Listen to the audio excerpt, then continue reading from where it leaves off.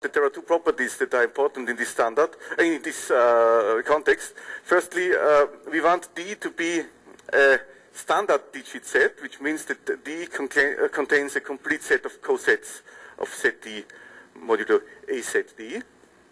And secondly, uh, we want D to be a primitive digit set. This means that, so, sloppily speaking, using D and A, we can go everywhere uh, in the lattice. What is easy to see is that uh, standard digit sets always lead to uh, positive Lebesgue measure.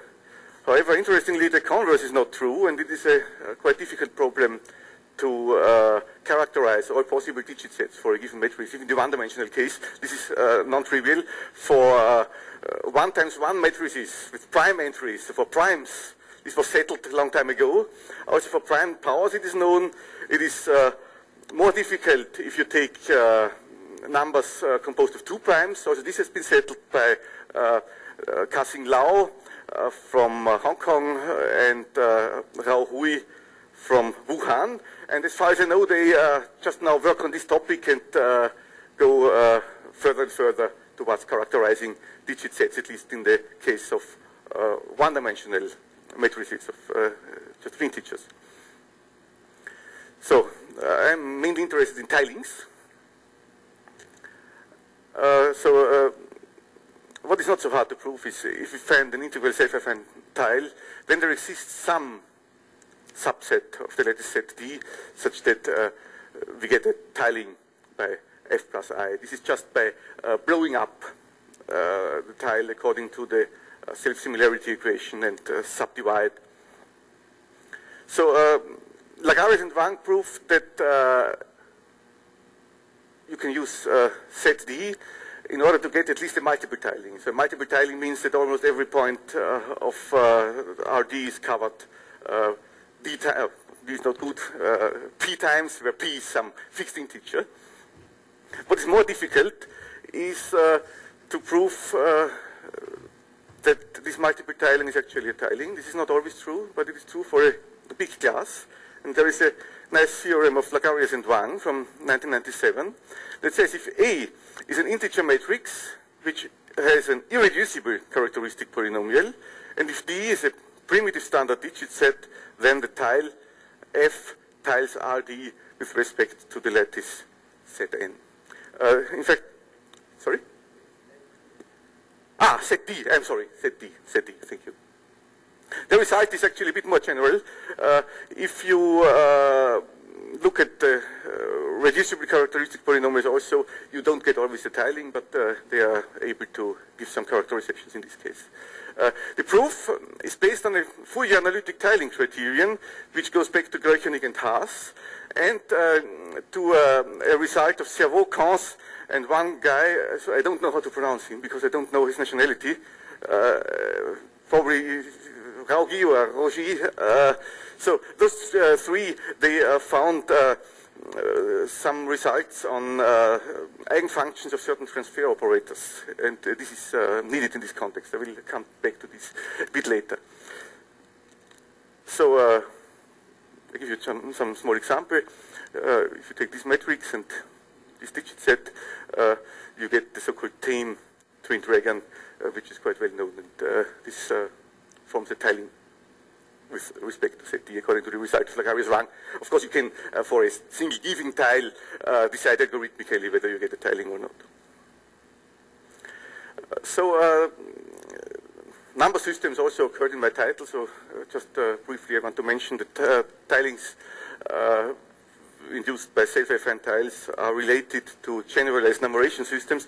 If you take a, sorry, if you take a monic polynomial, and a set of digits uh, n containing the digits from 0 to the norm of this polynomial minus 1, and you take this factor ring as a representation space, then uh, we, we uh, try to uh, express or to represent each element of this uh, quotient ring here in this way. So x serves as the basis, and uh, the coefficients here, Pn, uh, are the digits. So if uh, P is an irreducible polynomial, this is isomorphic to some order. For instance, if you take uh, p equal to, uh, this is the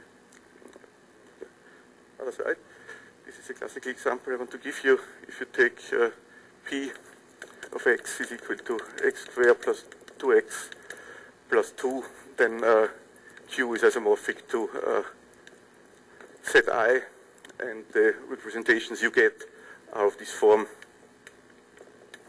hg uh, minus 1 plus i to the power of j. So this concept generalizes uh, uh, the ordinary uh, q-ary numeration to uh, orders of number fields. And if you want to permit also reducible polynomials, it's more convenient to write this as residue class rings. So, as I mentioned, we can relate tiles to these number systems, and it often turns out that the geometric or topological properties, as Anne mentioned, of these tiles uh, reflecting arithmetic properties of the underlying number system. Here is uh, the example I just mentioned. This is the polynomial. This is the digit set, uh, and the residue class ring in this case is isomorphic to set I And the fundamental domain in this case is very well known. It's uh, the twin dragon of Don Knuth. In fact, uh, Don Knuth was the first to study such number systems. And uh, he also found out that each element of set I permits a finite representation uh, of this shape here. This is not true in general, but uh, for this case, we get a finite representation. So, in my talk, I want to get uh, one step further. You see, uh, the sorry, the polynomials here were monic polynomials. So, in ordinary numeration, we use integers. So, also integers are the solution of very easy monic polynomials. We want to go one step further and want to deal with non-monic polynomials. There is a paper uh, fairly recent by uh, Akiyama, Frougny, and and they looked at number systems with uh, rational base, P over Q. So they want to represent numbers in this way. So the basis is a rational number, and here we have a digit set from 0 to p minus 1. Uh, this is important uh, because we want to meet each residue class. So we need so many digits in order to be able to represent all the integers in this way. This is not so hard to see. So uh, it turns out, this was observed by uh, these three uh, people in this paper, that the language of representations of the integers is very complicated. Uh, so it is not context-free. Uh, you can so say not so much about it. This makes uh, life much more complicated if you live here with rational basis. Interestingly, they found out there is a relation to Mahler's uh, three-half problem, and using their notion of number systems, they could even prove some new results on a generalized version of Mahler's three-half problem. And what I'm also interested in, this concept again can be generalized to polynomials. So uh, we do the same as before, but now we look at polynomials uh, that are non-monic in general. Uh, again, the digit set uh, goes from 0 to the norm minus 1. We have this representation space. Uh, this is uh, a module which is no longer finitely generated. so the representation space becomes difficult. If you want to represent the analogs of integers, the language becomes difficult. So either your representation space becomes difficult or the language becomes difficult. These objects are much more difficult actually than uh, the number systems in the monic case. And now uh, the associated self-affine tiles, they do not form even a multiple tiling. So I just give you some hint why this is the case. If you take uh, the base, uh, for instance, uh, 3, then uh, the associated tile would be the set j greater equal 1 di 3 to the power of minus i, ah, j, I should take, uh, where the digits are contained in 0, 1, 2. So uh, now, if you look at uh, the uh, tile, or the first uh, trial for a tile associated to the 3 half number system, uh, you would do this. So you write here 3 half to the power of minus j, such that dj is equal to 0, one, two. And uh, what you see uh, very quickly is this will produce a lot of overlaps. So these objects are not so nice uh, if you take the full shift here. So there are two ways to uh, get rid of these overlaps and to get a tiling theory also in the rational case. The first way is to restrict the language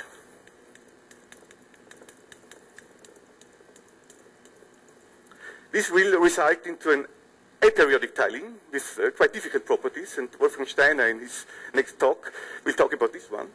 And the second possibility is, so what causes the problems here? The problems are caused by this uh, denominator 2 here. So how can we resolve the overlaps caused by one half? So, uh, uh, and uh, what we are pursuing in this talk is we put this in a p-adic factor. So in fact, we look at it not for a tiling in R, but we look for a tiling in R times K2, where 2 is the p-adic completion uh, of uh, Q, and we just uh, embed the finite sums uh, diagonally here, and uh, it turns out that this is the right space here to get a tiling. And I want to pursue this in a much more general context. In fact, uh, I want to uh, propose here a tiling theory for rational matrices. So instead of integral lattice tiles, I want to go for rational uh, lattice tiles. So uh, we choose just an arbitrary uh, expanding matrix, not completely arbitrary. Uh, in the first step, we decided to uh, uh, consider just reducible case in order to avoid difficulties and in order to make the theorems more nice and without exceptions. The first problem is, so what are the, the good digits in this case. So uh, I told you before, the digits are elements of the lattice set D in the integral case. So what is the good uh, digit set here? Uh, I will show you, probably there are better ways to introduce the good digit sets. Uh, for the moment, uh, this is the best way I know. So uh, let beta be a root of the characteristic polynomial of A. and now we choose, so um, Q beta can be regarded as a vector space over Q, finite dimensional vector space. And we choose the basis of this vector space uh, in a way that the multiplication by beta is done by the matrix A. And now the digit set, the, the, the good digit sets turn out to be uh, the subsets of set beta, or the pre-image of set beta uh, in this vector space. Uh, and uh, in order to get the tiling theory, we uh, need to uh, confine ourselves to good digit sets, the good candidates. And again, we define some notion of primitivity here. This is just analog. The digit set is called primitive. If we can, using digits and the, uh, the matrix, which is the multiplication by beta, in order to go everywhere in set beta. So uh, this is a primitive digit set. And the digit set is called the standard digit set in D uh, if D is a complete set of residues uh, modulo beta, z beta. so now uh, I told you in order to get tilings we need to do something, some augmentation by p-adic spaces. How does this look like in a general case? How to define rational self-affine tiles? We take our rational matrix and uh, we choose uh, a digit set in set beta. So now uh, the p-adic factors, they are directed by the matrix, and so they can be read off from the root of the characteristic polynomial. So uh, this root of the uh, beta, we, we uh, create a fractional ideal generated by beta, and we write this in the form a over B, where A over B are, uh, A and B are integral ideals that are relatively prime. And it turns out that the reasonable representation space is the space K beta now. So this is an open uh, subring of the adele ring uh, uh of uh, Q beta. And uh, it consists of finitely many factors. first, we have the infinite primes. This conjugate to the completions according to the there are conjugates of beta, uh, like in the unit case, but now we have also finite primes here. We have uh, completions here uh, for all primes dividing B. And now uh, we define the rational self-affine tile, F, F beta, or FAD. Uh, this is defined in this way, so we can multiply by beta or by A because we choose the vector space in a way that A is uh, multiplication by A is done by multiplication by beta. And uh, so uh, we define tile F beta or, uh, or just F, as the uh, unique compact non-empty solution of this iterated function system. And now we wish to prove tiling properties uh, in the spirit of Lagarias Wang in this setting. So, uh, firstly, uh, we need uh, some analog of the Lebesgue measure. This is standard, uh, so we take the Haar measure mu on k beta. This is the product of the Haar measures on the factors for the infinite primes. So for the conjugate, for the Galois conjugates, we just take the Lebesgue measure on Kp. Here Kp is equal to R or C. And for the finite primes P, uh, we say that uh, is the measure, uh, the Haar measure that satisfies this equality here.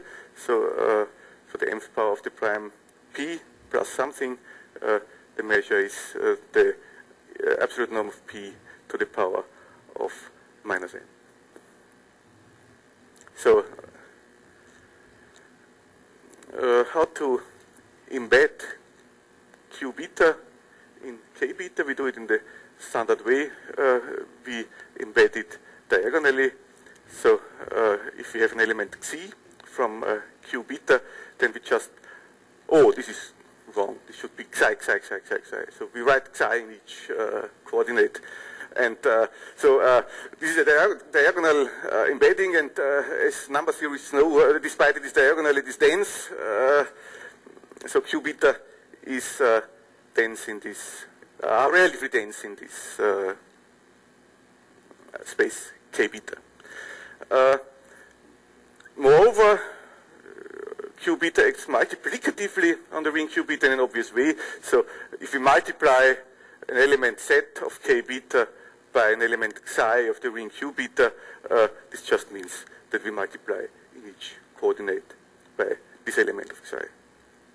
So once again, let me mention, uh, we could, of course, define uh, a self-affine tile uh, of RD associated to this number system, but uh, if you look at this object, it is not so nice, and it has no tiling property. So this is the wrong way. You have to go one of these two ways. Either you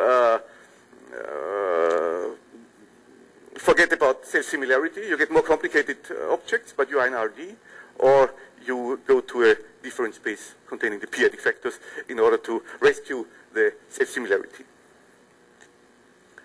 So now uh, let me give some basic properties of uh, these tiles. So it turns out that the analog of the tiling set, set D, is set beta, and set beta is embedded to the open subring of the adele ring K beta. So uh, I recall the, I don't recall, I read for the first time, I think, that uh, the characteristic polynomial of uh, A uh, is written in this way. So now uh, we want some uh, fundamental properties.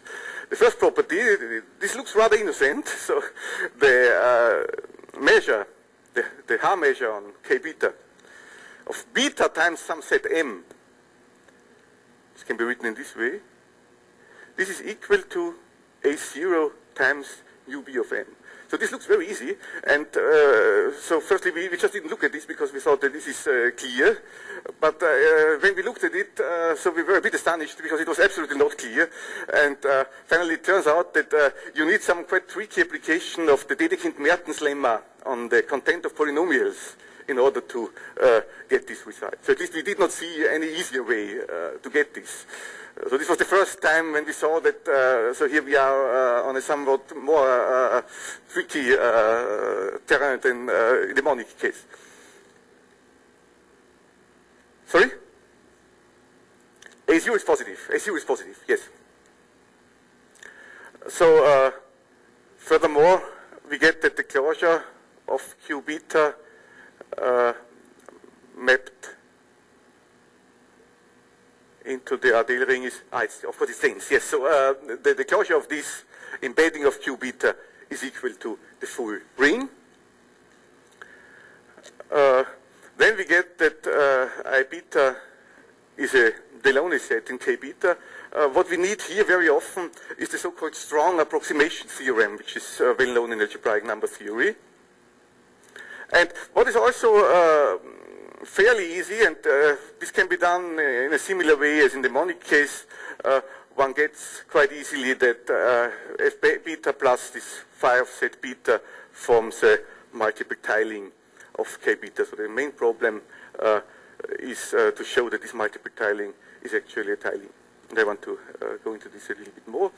Uh, so another thing that can be shown is that f beta is the closure of its interior, like in the monic case, and that the boundary of this set has measure zero.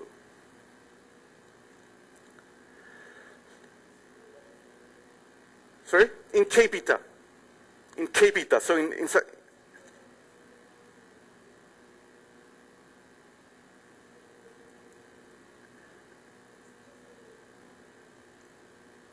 uh, so uh, it is. Uh, what is your problem that the the space is totally disconnected, the p-adic space? but it doesn't matter. So we, we have an interior in spite of that, but this interior is disconnected. But uh, still, it, it goes through that we have the closure of its interior. It's just in the uh, topology defined by the valuations uh, on each of the factors. Okay?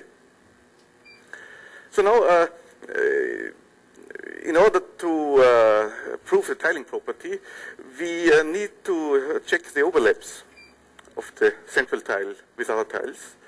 And uh, so like uh, and Haas, we do this uh, by uh, looking at the so-called contact matrix. In fact, it turns out, also in our setting here, that the boundary of the self-affine tile uh, has a so-called graph-directed self-affine structure. So it is not self-affine anymore, but it is something uh, slightly weaker. It is graph-directed self-affine. This means that uh, it consists of uh, finitely many pieces, and each of these pieces are made up of smaller copies of sub-pieces. Like this is true uh, for the Rauzy fractal, for instance. Uh, just a moment. Uh, the, so um, this set Tn is defined recursively. So I start with some fundamental domain of uh, this uh, phi beta of z beta. And first, uh, I make up the set T0. This consists of all elements of set beta that have, so, so, that the, shifted fundamental domain has a non-empty intersection with this fundamental domain. And then I iterate. So uh, given T0, I make up T, T1 and so on and so on. And what I get is Tn is the, uh, the set of neighbors of the nth approximation of my tile.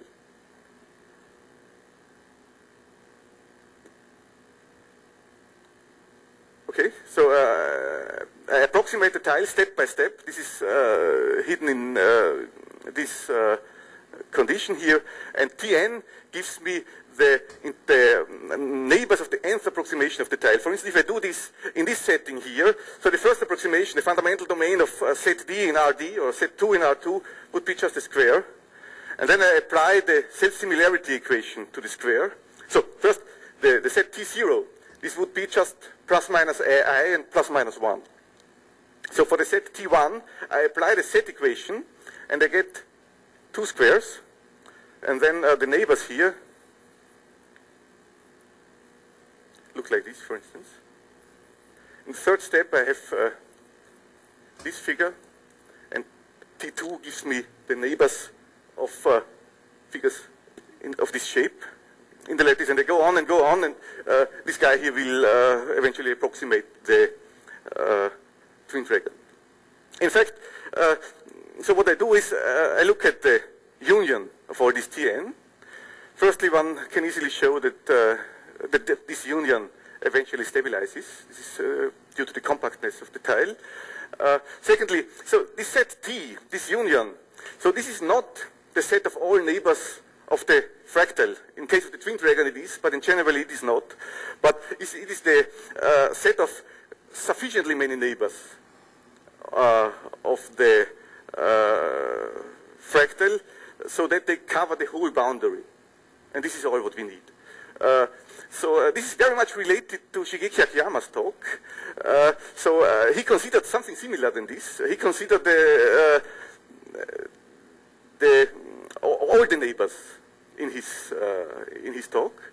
So he considered the so-called boundary matrix in this context, which is bigger than the contact matrix, but this is not needed here. So we are good with this smaller one. Oh, I'm sorry. n is equal to d. This is the digits. I, I think this will uh, occur later on also. So I'm, I'm, terribly sorry. So the digit set is n and also d.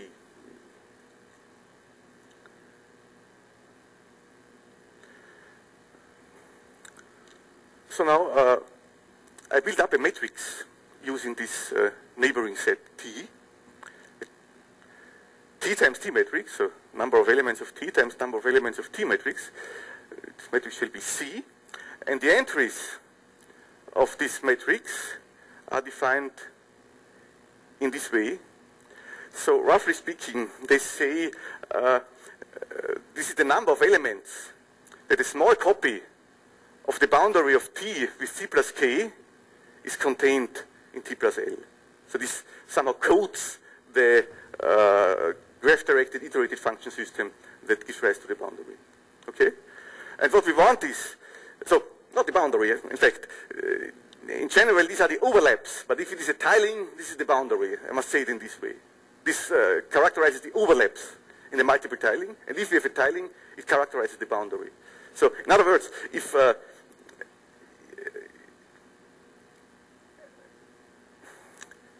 this characterizes the overlaps, if the set of overlaps is small, then uh, this should be a tiling. So we want to uh, to make this contact matrix small in some sense. Uh, in fact, I can say it. We, we want to make the the, uh, uh, the large eigenvalue, the spectral radius, small, smaller than the norm of the polynomial, and this will turn out to be a, a criterion for tiling. Okay, so it's all written here. So uh, again, we take the characteristic polynomial. And this is also related to Shigeki Akiyama's talk. I think you presented a criterion of the same flavor. So uh, let uh, rho of C be the spectral radius of the contact matrix. If the spectral radius is less than the norm of the tile, uh, of the minimal polynomial, then uh, C beta, this means F plus I or F beta plus I beta. So this forms uh, a tiling if and only if, even, but we don't need the other direction. Uh, this forms tiling provided that uh, the spectral radius is smaller than a naught. Uh,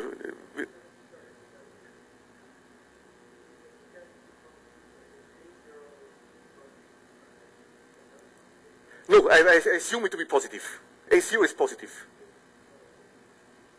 A0 is always positive. Then I just multiply by minus 1. It doesn't matter because I'm non-monic. Yes. Hmm? Oh, I forgot this is an important point. Uh, this, uh, the characteristic polynomial must be primitive. The, uh, I'm, terribly sorry. So this is another mistake I made. The characteristic polynomial must be primitive because otherwise, so you can uh, make uh, a0 as large as you want. The characteristic polynomial must be primitive. Sorry? Uh, it is automatically primitive because the leading coefficient is 1. Uh, we have the analog theorem in the unit case. So you, compare the, the, rho with the um, determinant of the matrix, which is the, uh, the norm of the polynomial. Okay? So uh, one can uh, use this uh, criterion to check algorithmically whether a given pair yields a tiling or not. But uh, so we want to give a general result, general tiling result. So uh, and we want to use Fourier methods on adele rings. So we need special characters. And uh, so if you don't like this formula, these characters, they are just needed so what they can do, how to uh, explain it in the best way. So if you look at this character,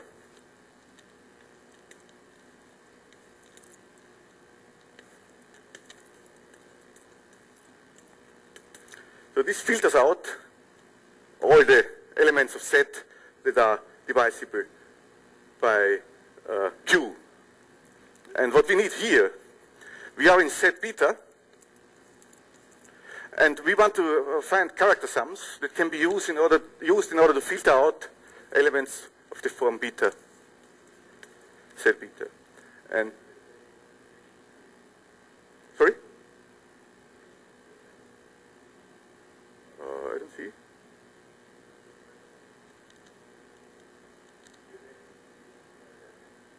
Oh, I, yes. E of x is equal to e to pi x. So this is an exponential sum here.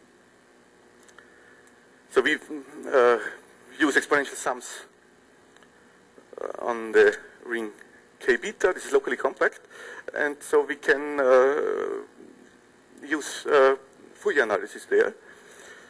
So using these characters, uh, we see that uh, each function chi beta of kz, where k is an arbitrary element of k beta, is a character of k beta. And uh, so what we do now is we set up the Fourier setting on this locally compact group. Uh, we take the uh, subspace of k beta uh, that is annihilated by all these characters, and uh, so finally we do uh, Fourier analysis on a compact space. Its dual is discrete, so we define a Fourier transform, and as the dual is discrete, what we get uh, as an inverse transform is just a sum. Okay, and uh, so what we want to do now is uh, we want to uh, study the Fourier transformation of the contact matrix. So the uh, contact matrix is an operator on k beta, and we, want to study its, its Fourier transform, and uh, by investigating the eigenfunctions of this Fourier transform, we will show that uh, the uh, irreducibility property finally leads to a contradiction. Uh, so what do we do? So we form this set of function omega hat. This is these are character sums, and uh, so uh, the coefficient tk, where k goes over the entries of the contact matrix. So sloppily spoken, each neighbor of the central tile corresponds to another uh, frequency. And, uh, okay, so uh, it is clear that the Fourier transform and inverse Fourier transform of these functions is defined in this way. And uh, we define the Fourier transform, C hat, of the contact matrix. This is an operator on this function space, and this is defined, obviously, in this way. Uh, so now uh, there comes a very important step. Uh, we want to get a reasonable representation of this operator as a transfer operator. And indeed, what we can do, okay, just a moment, this, ah, this is later. So firstly, uh, before we uh, transform this, uh, we are able to prove a Fourier analytic criterion. It's just the, the Fourier transform of the criterion on the uh, large value I showed you before. So it says that this correction, f beta plus i beta, called c beta here, uh, if this does not form a tiling, then there, so there is something about the eigenfunctions of this uh, Fourier analytic trans uh, Fourier transformation of C. Indeed, there exists a non-constant real-valued eigenfunction uh, of uh, C hat to the eigenvalue A naught. And uh, so what we want to do, we want to show that for our class uh, this cannot happen because of the irreducibility of the matrix. So again, A naught is the norm of the matrix or the the, determinant of the matrix or the norm of the polynomial. So uh, I told you we need a reasonable representation of the Fourier transform of the contact matrix. Uh, in order to get this, we have to do some exponential sum uh, calculations uh, in k beta. So here uh, the different a role, but I don't want to go into details. This is very important here. So what's, what's that?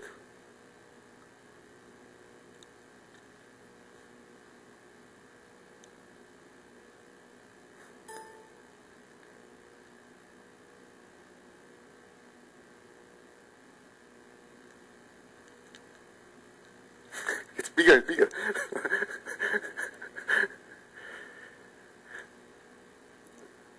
so uh, one can write this operator as a transfer operator. So what you get here is uh, the c hat of some function is equal to some finite sum of uh, a function that is uh, the, the autocorrelation of the digits, if you want to uh, put it like that, uh, times the same function, but now we apply beta to the minus 1, or if you want to go to the vector space a minus 1, z plus d star. And it is this representation of the transfer operator uh, that will allow us to uh, say something about the set of zeros of an eigenfunction. So uh, indeed, uh, the, the, the, set of zeros of an eigenfunction will have, uh, have to be uh, A invariant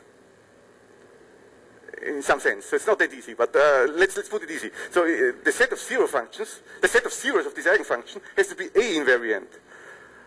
And it has to be irrational. So it has to be an, an irrational A invariant subspace.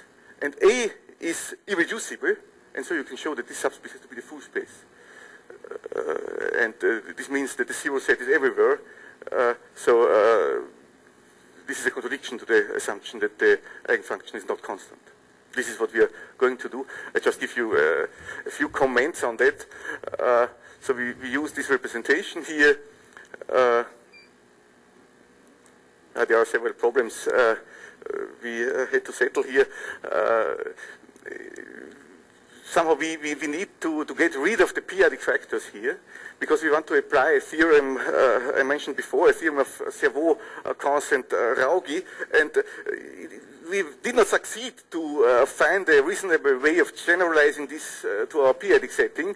Uh, so we, we, had to go for the non-p-adic uh, version of this uh, theorem, and this uh, made us uh, several problems. And uh, in fact, uh, our original functions had to be replaced by some other functions in order to be able to apply this theorem. And so here is what one has to do. So the mentioned result of these three guys implies that the set of zeros of the eigenfunction f so f infinity, in fact, we got rid of the p-adic factors here. Uh, in some way, I cannot explain uh, more closely. That this set is beta invariant, and it contains translates of a certain subspace of Rd. Then, uh, by some other arguments, we can exclude that uh, this subspace is zero-dimensional, because zero-dimensional a priori would be possible if the, if the matrix is irreducible. So this means we get an A-invariant subspace with this dimension, irreducible, uh, uh, um, uh, uh, irrational A invariant subspace with this dimension, and this contradicts the fact that A uh, has uh, irreducible minimal polynomial. So in other words, non-constant eigenfunctions cannot exist if A has an irreducible minimal polynomial. so this proves the following theorem. So if we have a matrix of rationals that is expanding, and has irreducible characteristic polynomial.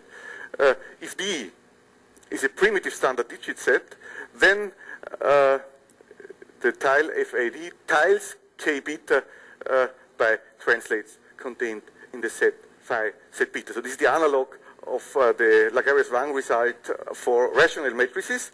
And now uh, I think I should show you at least one picture. So of course you cannot uh, represent the p-adic factors, but you, in fact you can represent them just by replacing p to the power of k by p to the power of minus k.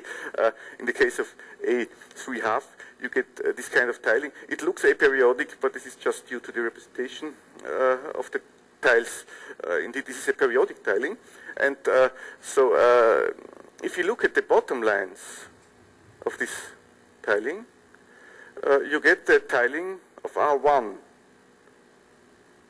And this is the tiling that corresponds to the language restriction.